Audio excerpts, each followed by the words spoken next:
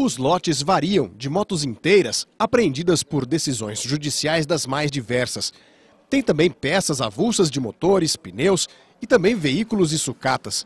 Tudo pode ser transformado em um bom negócio. Para quem é do ramo e tem isso como seu negócio principal, trata-se de uma ótima oportunidade. Os preços também variam bastante dependendo do entusiasmo dos compradores na hora de darem os lances.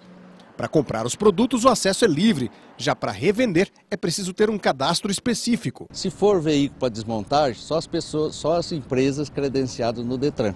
Essas pessoas podem participar. Agora, para circular, pessoa física e jurídica faz o cadastro no, no site da empresa, da Via Leilões, e a gente libera, habilita para o leilão e pode dar lance. Os interessados podem conferir pessoalmente os lotes no depósito que fica no Parque dos Poderes, mas o leilão é todo virtual. Nós não aceitamos lance que não seja pela internet. Logo que encerra o leilão, nós disparamos um e-mail para cada cliente que arrematou, informando o valor das suas compras e os dados bancários para efetuar o pagamento.